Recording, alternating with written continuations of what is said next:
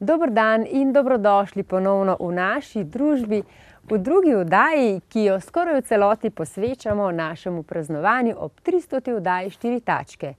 In z nagajivo bajko in malo Zojo vas ponovno vabimo pred Tivolski grad.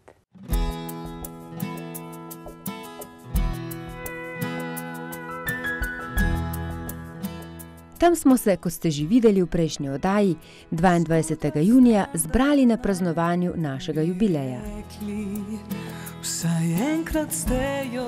Po uvodnem govoru Tažija Tukuhise in prvih taktih dua Platin smo se vsi prisotni razveselili kar treh nastopov, v katerih so imeli glavno besedo kužki. Seveda pa brez velike povezanosti in sožitja med ljudmi in njihovimi kosmatinci ne bi šlo.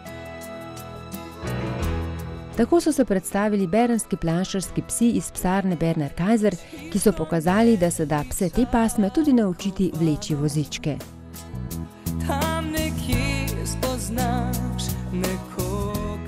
Šapice iz Kinološkega društva Krim so svojimi kužki pokazale zanimive trikce ob glasbi. Simpatični psički so navdušili vse prisotne. Zaploskali pa smo tudi novi evropski prvakinji v dog frisbiju Amadeji Colja, ki je svojo psičko Boro pokazala nekaj izvrstnih in atraktivnih vaj iz njunega repertoarja. Tema o kužkih je vedno dobrodošla, zato se o njih radi razgovorijo tudi znani Slovenci. Dejan, lep pozdrav na današnji tristoti oddaji Štiri tačke. Ti sicer kužka nimaš, vsaj ne um, v lasti, ampak kolikor pa vem, si pa velik ljubitelj živali. O ja, ja, sem, sem zelo velik ljubitelj živali, ne samo kužkov, še vseh ostalih. Um, imel sem sicer dva psa, zelo lepa, zelo fajn, uh, super mi je bilo, sam se pač, uh, ne vem zakaj, pač neko smolo manj, da se je pač zgodba nesrečno končala in z enim in z drugim, tako da zdaj sem dal to nekako na stran.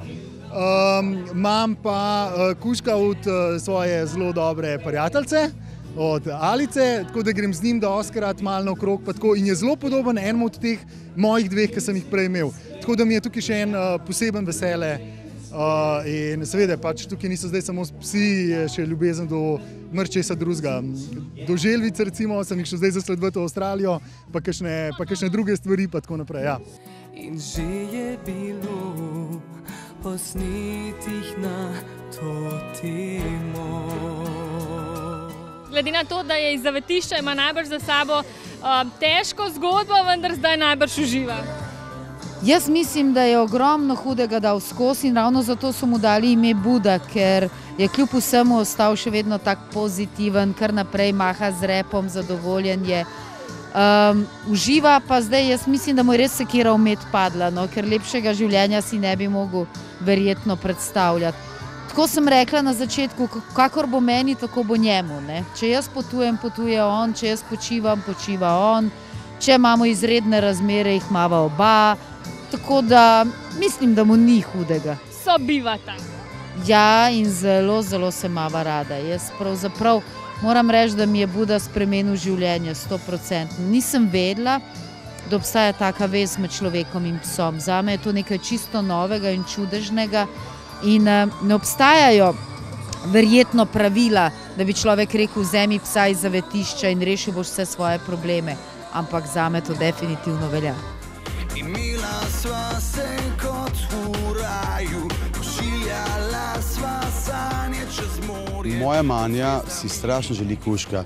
In ti moram povedati, da danes sem prav vesel, da jo nisem pripeljal sem, ker če ne bi imel zelo, zelo velike in resne probleme. Uh, tvoj tata je imel enega kužka taza, točno takšnega, kot ga manja želi. Točno tazga in ti moram povedati, dobro, da je nikle, dobro, res dobro. Pa si morda dobil kakšno idejo, katero pasmo bi že izbral, če bi tvoja hčerka želela kužka. Ker ti enkrat boš popustil, to upam, da ti je jasno. Ja, le, haha, ja, se bi popustil tako, tako, zato ker slej, ko prej bi mogel ti potem jaz skrbeti za tega kužka. Je pa stvar v tem, da seveda za mene mora biti pes pes. Eh, Čeprav v stanovanju, oziroma v hiši, ki imamo zdaj, je za noter mora biti mehen kuža. No? Tako v bistvu malo da zalaja, da napletemo neke take, bom rekel, vezi, je dosti mehen kuža.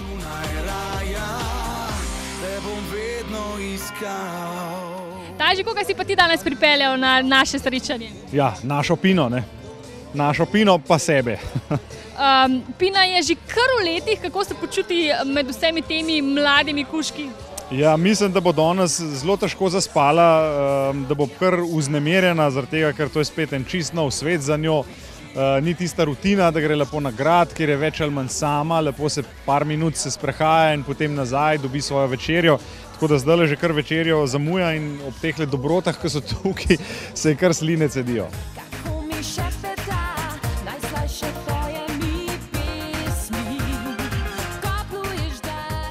Ja, uh, jaz sem tako, ko sem bila jaz mehna, sem imela doma enega kužija, pa je ta kuži umrl, tako da se nismo za nobenega več odločali. Ampak zelo mi je všeč Jack Russell Terrier, mislim, da je to ena ful simpatična pasma in vedno, ko vidim kakšnega tega kužija, mi tako ful toplorata pri srcu. Tako da mogoče nekoč, če bom imela svojo hiško, uh, pa ko bom imela otročke, pa se mogoče odločam za kakšnega hišnega ljubljenčka. No, do takrat pa sem bolj tako le pravi, kuža z veliko energije za punco z veliko energije. Ja, vse gre to gre skupaj.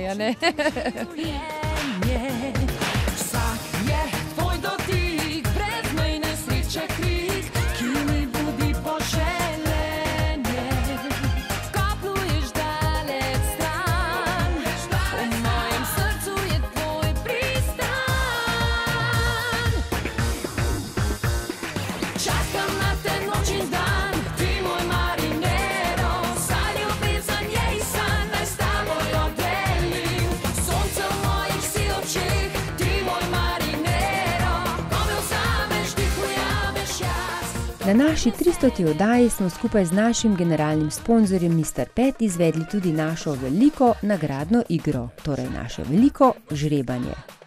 Zdaj le najprej tri lepe nagrade za tiste, ki ste tlele, potem pa žrebamo tisto veliko nagrado. Uh, Srečno župa nekdo od tistih, ki so naši gledalci in ki so pošiljali tokle kupončkov. Poglejte, v štirih mesecih to je res. Uh, za vse tiste nejeverne, že, ki mogoče pravijo, koliko pa gledajo, dajo štiri tačke, evo, v štirih mesecih tohle kupončkov in pravilnih odgovorov. Kakšno pasmo kuška ima Iris Mulej? Živijo? Kdo si ti? Svit. Kakšno pasmo? Čivava. Ja, kako pa to veš? Uh, ker je od mojega brata punca. Od njegovega brata punca, ampak bravo, evo, vidiš. Glej, dobiš kar vzemi kapco, rukzak in še, še to je tvoje, glej. Lepa nagrada, ne? Super, en aplauz za vida. Torej, kaj ima Irena Polanec, lahko pa pogledate tle zraven Alenke in Diane sedi in se smeji. Alenka ve, en aplauz za Alenko. Ja, to, ja, to bo tudi pristransko, kamero so se v ti urci že zalubila mal. Aha. Stončijem, mislim, ja, stončijem. Angliški setar je. Angliški setar, bravo, Alenka. Alenka Godec pa dobi eno veliko knjigo. To je knjiga o vseh pasmah, poklanjajo pa rojalkanin. Evo, Alenka. No, zato se vam pa Tončil za zahvaliti, ne? Evo, Tonči, hvala, Alenka. Hvala. Zdaj pa sprašujemo, kakšne pasme je kuža, ki ga ima Dragica Kajzer, ona je pa vodja tistih kuškov, ki so nastopili uh, z vozički. Živijo, oči pej z mano. No, sem povej. Maša. Maš, Maša vozel, a ne de. Maša, kaj pa je to za en kuža? Beranski plančar. Bravo, en aplav za oči in Mašo. Za oči je kapco, za Mašo rukzak, za mami pa majčko, evo.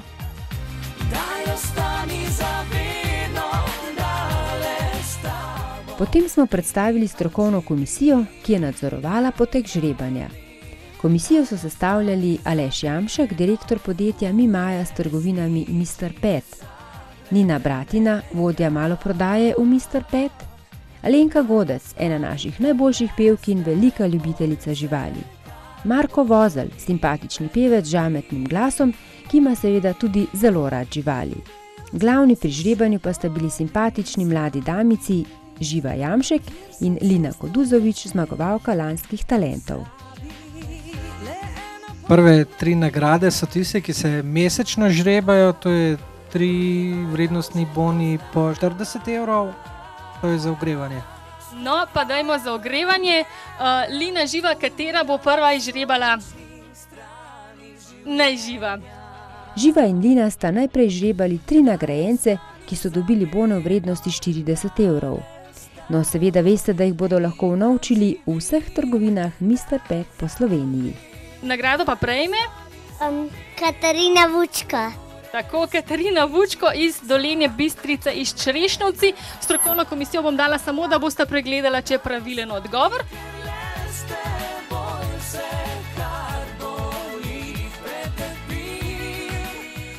Ana Marija Rutar. Iz Litije. Dajmo še strokovni komisiji, tako. In pa še zadnji bon v vrednosti 40 evrov, izžrebajte, kako se boste dogovorili, kar izžrebajte, potegnite eno dopisnico. Evo, dopisnica, gremo tako obrniti, lahko. In pa tole nagrajenec. Stanka Zorman. Iz Kamnika še zadnja nagrajenka, tako en aplauz za pogumni dami. Potem je temperatura naraščala, saj je bil čas za glavno nagrado, vredno 800 evrov. Če bo ta nagrajenec eh, začetnik, mu bomo pomagali tako za opremo, tako za ribami, svetovanjem. In po potrebi pridemo tudi na dom in postavimo akvarij. Tako da tukaj notri je vse, kar si bo nagrajenec zaželel. Strokovna komisija je sodeluje.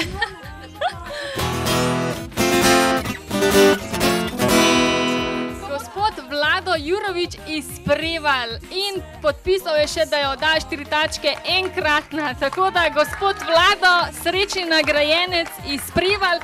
Alenka je vse potekalo po pravilih. Vse je potekalo led, v redu, zdaj si bomo tudi zapomnili, kdo je glavno nagrado dobil. Nekaj mesi so vse ostale bile bolj ženske. Ne? Marko, si ti zadovoljen z žrebanjem? Po žrebanju se je naša gostja Lina odločila, da tudi nam za rojstni dan pokloni svojo pesem. Ob njenem petju smo vsi onemeli. Way above the chimney tops, that's where you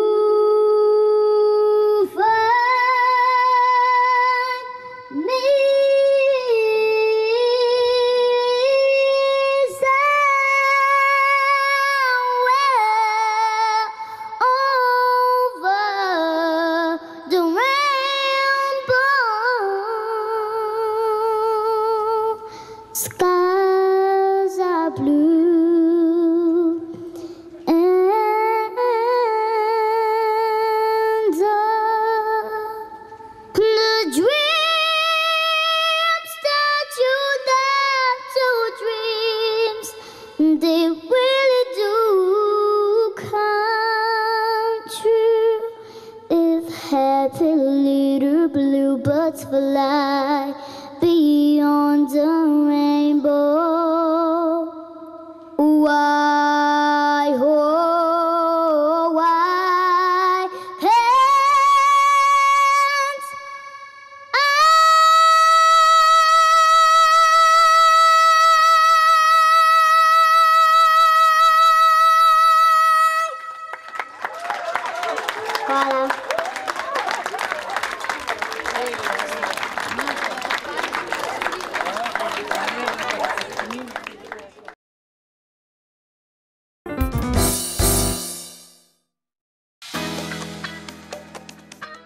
Džani, mi smo te pred mnogimi leti obiskali, takrat si imel Snupija, nemškega očarja, danes si dela družbo Drukuža, tudi iste pasme. Ja, danes je Terry, tudi nemški ovčar. Uh, jaz sem zaljubljen v to pasmo, se mi zdi, da mi tudi najbolj nekako paša mojemu karakterju. Se mi zdi, da je nemški ovčar tisto, kar, kar hočem jaz imeti. ne. Tako od nekdaj smo pri nas doma imeli nemške ovčarje in jaz nekako nadaljujem to tradicijo, tako da težko bom se stopil z te pasme. Seveda, predstavnici sedme sile ne, ne smeta manjkati na taki prireditvi. Kako se vam je zdelo danes? Je bilo veliko pasih kosmatincev, ponavadi mislim, da niste navajeni na take prireditve. Ne, na Lady Pikniku je zanimivo, so predvsem taki majhni za v torbo. No? Ampak uh, meni so še zmeraj najboljši, sem fulj vesela, ker jih je bilo danes veliko. Berenski planšarski učar, to je moj, to je moj pes. enkrat ga bom imela. Uh, Andreja, kdo je pa tebe navdušil? Mene pa prepričal border collie s frisbijem, super. Koliko je to enega dela, pa enega veselja, da, Da pokaže, kar zna. da poka ja.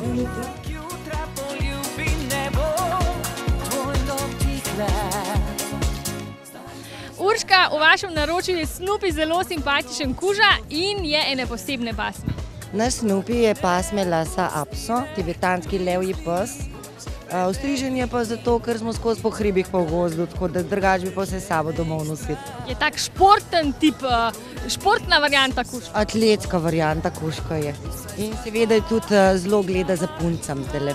Mu je danes kakšna še posebej všeč? Danes mi je posebej všeč tibetanska terjerka, sama je še premlada za Anga, ki ima šele 4 mesece. Zdaj si jo je ogledal, čez pol leta bo pa dvoril. Ne? Mislim, da ja, in ko je prišel od Violete Buda, mem ga je kar nadaril, da to je pa moja punca.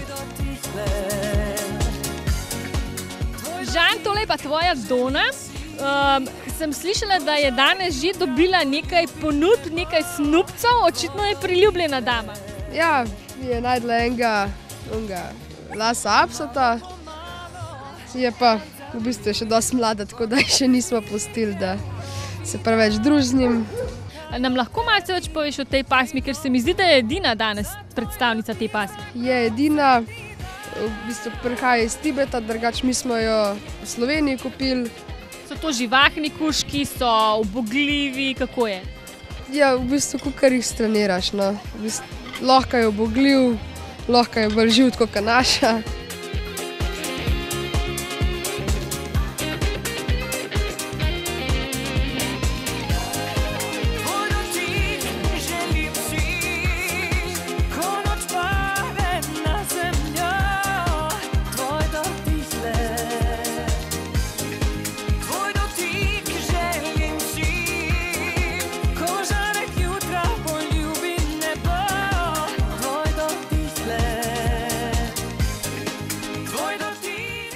Seveda pa smo na koncu vsi težko pričakovali, kakšno torto so za naš jubilej pripravili v Ljubljanski Loliti.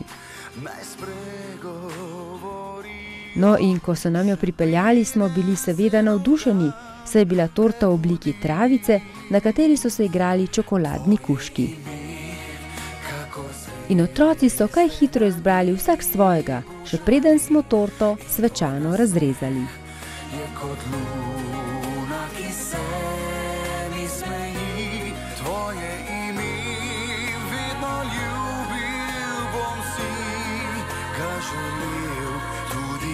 takrat, ko zvezd